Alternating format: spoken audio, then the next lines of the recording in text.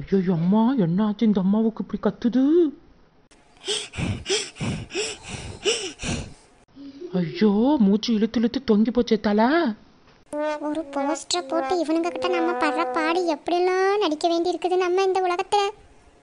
எப்படி சமாளிப்போம்? ஐயோ இந்தாம்மா எதுக்குமா நீ இப்படி கோவப்படுற? கோவப்படல உங்களுக்கு புரியல.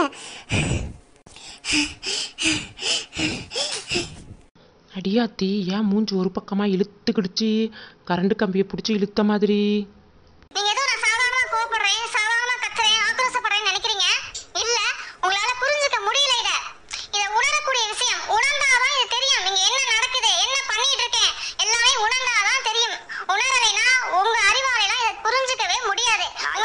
புரிஞ்சுக்க முடியாமையா? சொல்வதெல்லாம் நிகழ்ச்சிக்கு போனீங்க அம்மா